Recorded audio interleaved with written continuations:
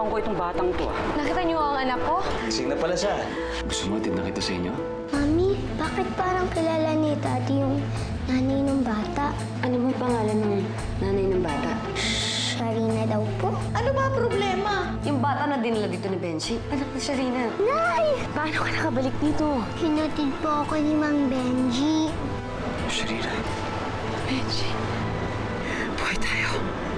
sabi nila wala ka na. Nabuhay ako dahil sa'yo. Niligtas mo ako. Dilihim nila sa akin to. Kung nalaman ko lang sana hindi kami kinasal ni Emmy. Magsimula ulit tayo. Hindi na pwede mangyari. May pamilya ako, may pamilya ka. At ngayon, magkakaanak pa kayo ni Emmy. Ma, ba si Benji yun? Benji nga yun? Buhay pa siya? Bakit niyo ko pinaniwalang patay na si Sharina? Bakit? Ate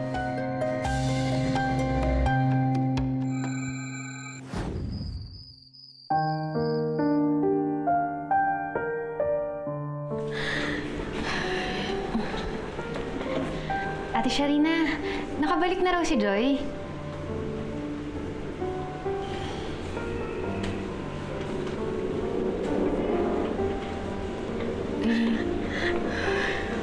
Ate, bakit malungkot ka pa rin? Di ba dapat masaya ka na?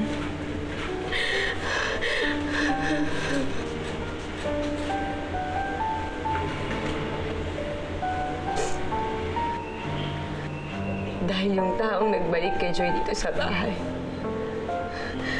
si Benji. Buhay pa si Benji! Puyo pula.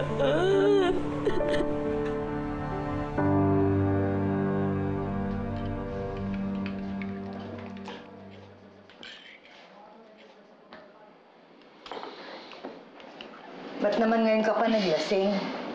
Kung kailan naman kailangan kong mga makausap ang isang matinong tao dahil sa problema natin. Bakit? Ta, hindi, hindi naman ako lasing. Tino naman po ako ha. Ano ba po bang problema? Si Kuya Benji, alam niya na buhay si Ate Sharina. Oh, ano naman problema doon? Bakit, bakit niyo pa inililihim kay Kuya La? Sabihin niyo na lang, sabihin niyo na. Na lahat to, utos lang ni Ate Emmy. Eh, di sa atin naman nagalit si Amy. La, uunahin niyo pa ba si Ate Emmy kaysa kay Kuya? Hindi ah.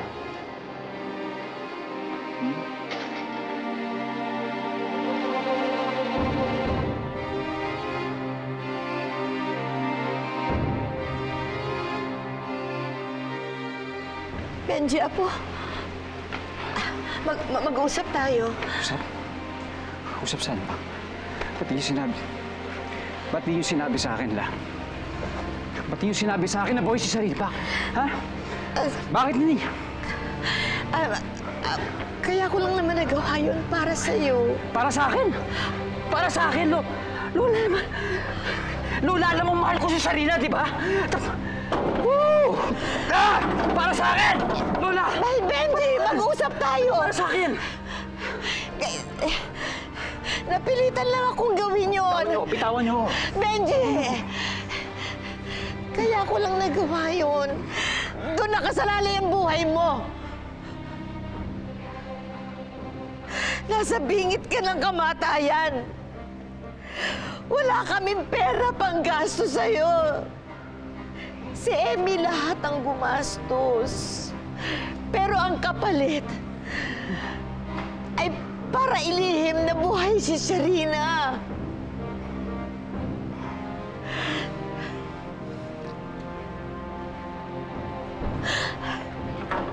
Benji! Benji! Buhay pa si Benji!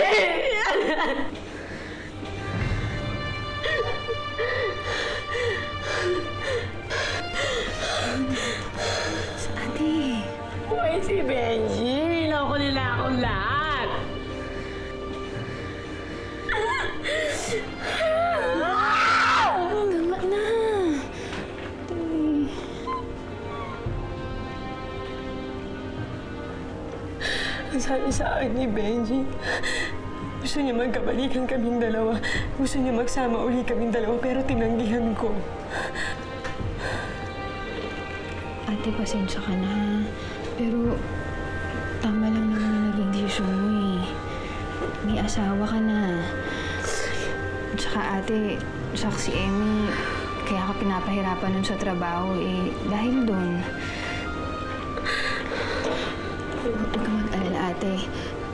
Lalapit ako sa mga kakilala ko. Mangungutang ako sa kanila ng pera para mabayaran mo na si Emmy at maiwasan mo na rin asawa niya. Pero bakit ko kailangan iwasan si Benji? Tatay siya ni Joy. Pero hindi mo pa rin naman inamin kay Benji ang totoo, di ba? At alam mo yun, alam mo kung bakit. Dahil kapag ka nalaman ni Benji na anak niya si Joy, ate mas lalo lang gugulong mga buhay niyo eh. Palagi na lang ako dapat magsakripisyo.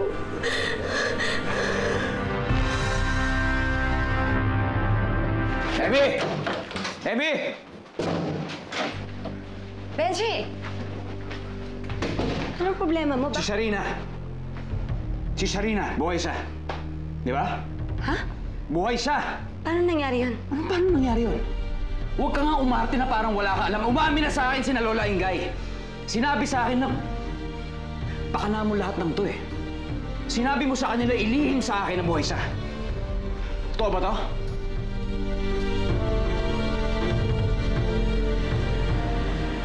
Namiss kita, Joy. Alam mo, sabi ko pag nahanap kita, ipapakilala ko na sa'yo ang totoo mong tatay. Pero hindi ko pa pala kaya. Sana mapatawad mo ang nanay. Sinabi sa akin ni Ginela na nagpunta dito si Benji. Ano? Ano ba? Iiwanan mo na ako? Sasama ka na ba sa lalaking yon? Ang ingay mo natutulog yung bata. Nasaan mo lang ganun? Siguraduhin mo lang na hindi ka sasama doon. Kasi kung hindi, hindi lang ikaw ang masasaktan. Tingnan mo ako. Nelson, tama na, nasasaktan ako eh. Pati na rin yung anak ng lalaking yun.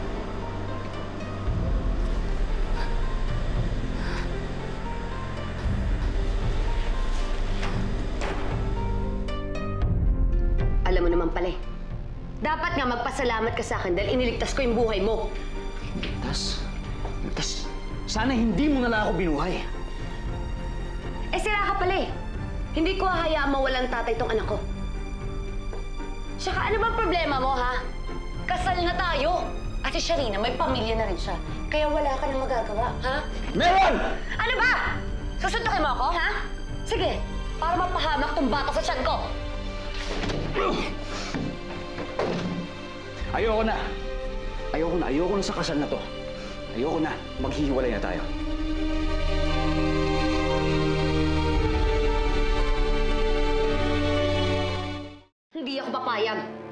Ako makikipaghiwalay Kahit sa'yo. hindi ka pumayag yun ang desisyon ko. Paano si Sunshine? Ito magiging anak mo, ha? Iiwanan mo yung mga anak mo? Sige, kapag umalis ka dito, hindi hindi mo na sila makikita kahit kailan. Benji.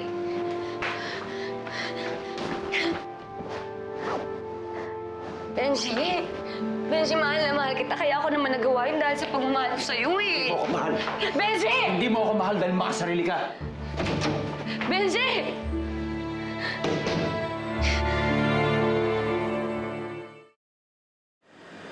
Nay, malungkot po ba kayo? Mahal na mahal lang kita. Sorry na po.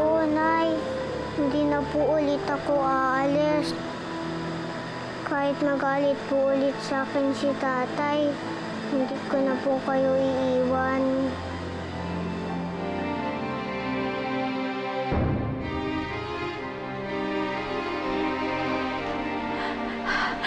Benji. Benji, apo ko. Saan ka pupunta? Uiisip-isip ko na.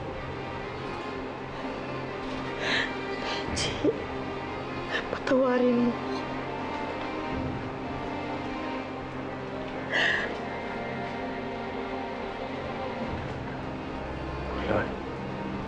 Bakit niloko niyo ako?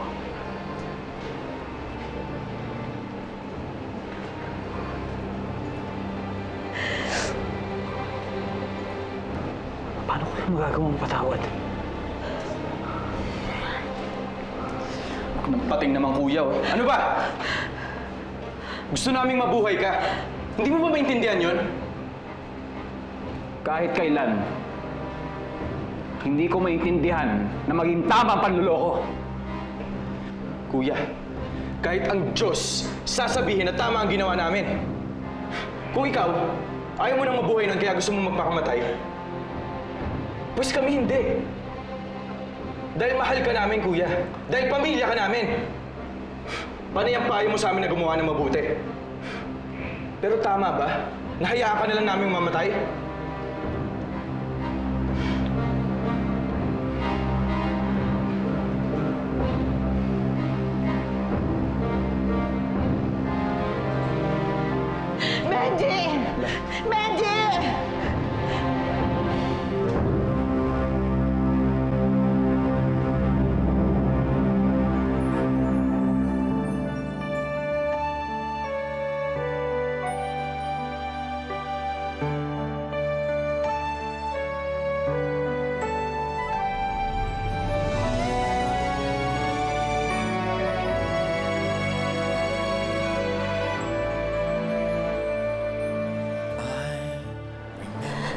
Nabuhay ako dahil sa'yo. Niligtas mo ako. Nilihim nila sa akin ito. Niloko nila tayo. Sana hindi kami kinasal ni Emmy. Wala na tayong magagawa. Meron. Nangyari na lahat eh. Meron. Meron pa siya, Rina. Magsimula ulit tayo.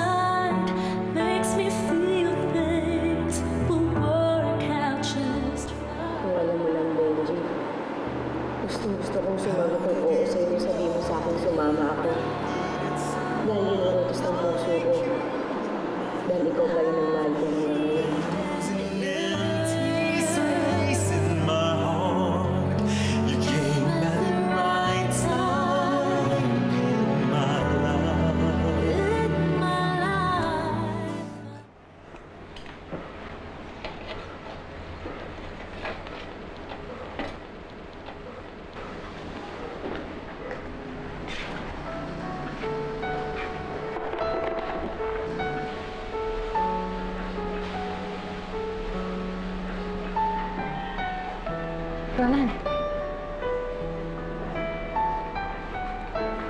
Monica, kamusta ka? anong ginagawa mo dito? Di ba, di ba nasa Amerika ka na? Bumalik ako dito para sa'yo.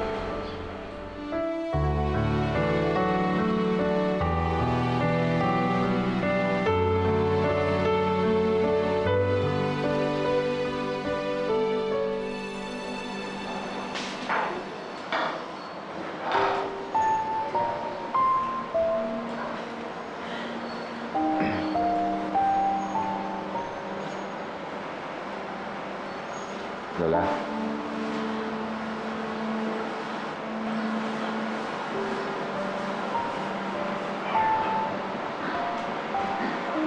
Wala. Wala, gusto ko sana. Gusto ko sana humingi ng sorry sa... Sabi ko sa inyo. Hindi ko po sinasadya.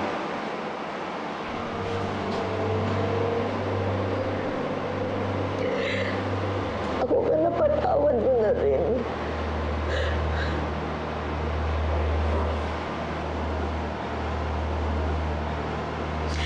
Anong gagawin mo ngayon? Hindi ko po alam. Gusto kong iwalayan si Emmy pero... Mahal ko na rin si Sunshine. Paano na si Sharina? Na kahit kailan, hindi nawala sa puso ko si Sarina.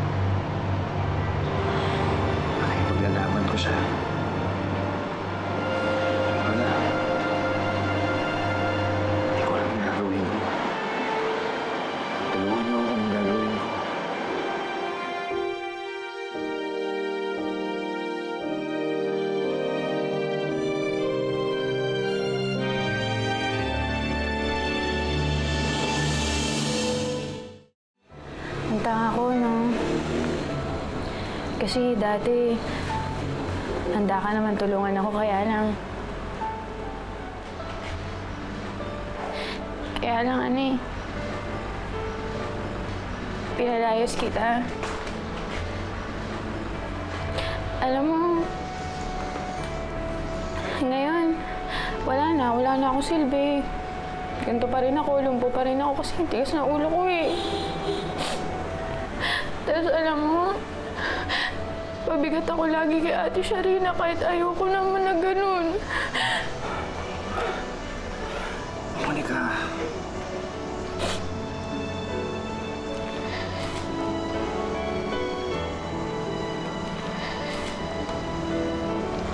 Hindi ka na dapat bumalik, Pi. Wala ka naman mapapala sa akin. Monica, mahal pa man kita. Dati pa, bago ako pang punta sa sitwasyong to. Hindi pa rin nagbabago ang nararamdaman ko para sa'yo. Matulungan kitang bumangon muli. Hayaan mo akong mahalin kita muli.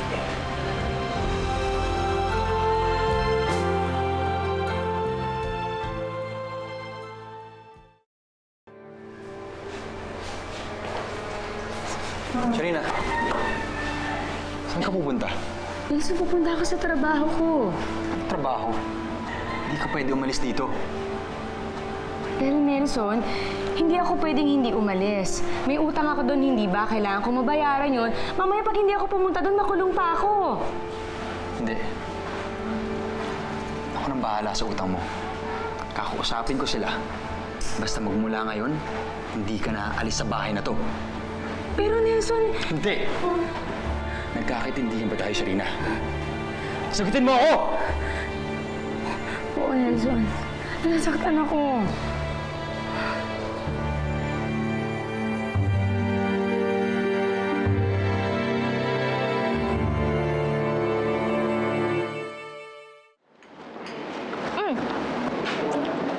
Kamusta na nga pala yung pinapatanong ko sa'yo na lupa sa Green Hills? Hmm. Meron akong alam sa may sa may Florida. Kaso mga 60,000 yun eh. Baka hindi kaya nung kilala mo. Pero meron din naman ako alam sa may Connecticut. 45 lang. Nox naman, talaga may options ka pang binigay sa akin, ha? Siyempre. Alam mo, natutuwa naman ako kasi nakikita kong gumagaling ka na sa trabaho mo. Mas naman ako sa'yo. Sobrang yaman mo na pala. Hindi naman. Sinuwerte lang ako. Alam mo kasi, Rico, nanalo ka sa loto. Talaga? Ano naman balato? Ano ka ba? Humihingi pa ng balato? Baka nga kapag nakuha mo tong deal na to, hindi ka na humingi ng balato sa akin eh.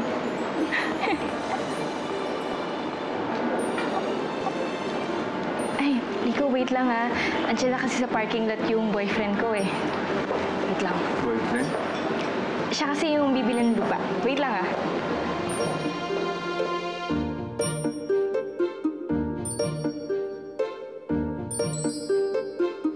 Ikaw raw ang may-ari nitong spa na pinapasukan ni Sharina. Small world, hindi ba? May utang raw sa'yo ang asawa ko. Hindi na siya papasok dito. Ako na lang ang magbabayad ng utang niya. Eh, paano ka makapagbayad? Eh, sa pagkakaalam ko, wala kang trabaho ngayon.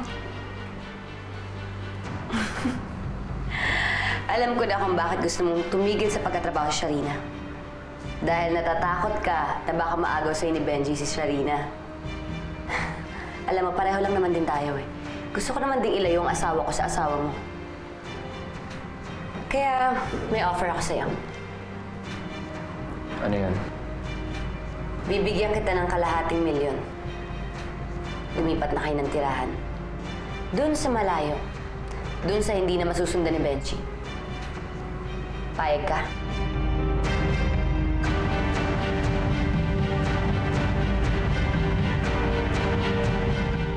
Ayaw na po kayo pagtrabahuhin ng tatay. Oo, Joy. Sabi niya, wag na daw ako magtrabaho kasi siya yung magtatrabaho para sa ating dalawa. E di ibig pong sabihin, bumabait na ulit si tatay. Di po ba, Nay? Sana nga anak. Joy. Mom, Benji!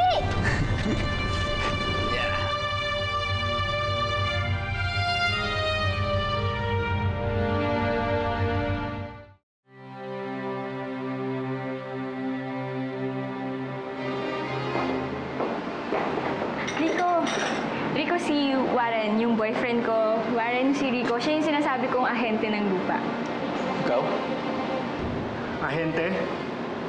Eh, janitor sa opisina namin yan eh.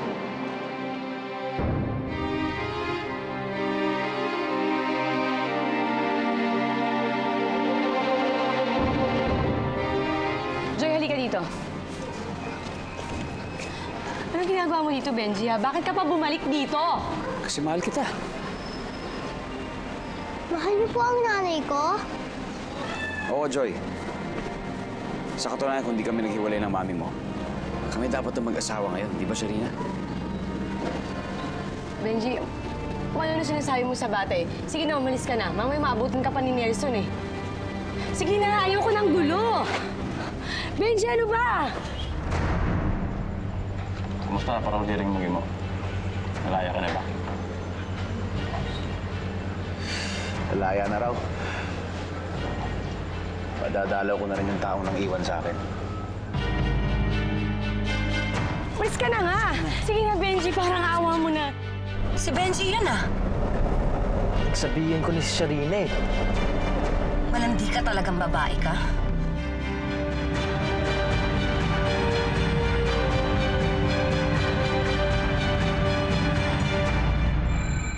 Magkaliwanagan nga tayo. May gusto ka ba sa girlfriend ko? Sumagot ka! Warren, bakit mo yung ginawa? Ba't ba siya ang laging kinakampihan mo? Eh, di ba ako yung boyfriend mo? Hindi na, Warren. Dahil simula sa araw na to, break na tayo. Noon pa lang alam ko nang ikaw ang mahal ko. Grace, mahal kita. Magiging mas madali para sa atin kung lumayo muna tayo dito. Nakausap ko yung kaibigan kong si Milton. May hulok siyang trabaho sa Cebu. Aalis na tayo, okay? Hindi mo, nakalaya ka na pala. Parang si Emmy. Emmy! Ay, hindi ko alam na nakalabas ka na pala. Itong taon akong nakulong. Wala akong panahon makipag-usap sa inyo! Panoorin niyo kung paano ko patayin ang anak niyo! Wag! Wag anak mo siya!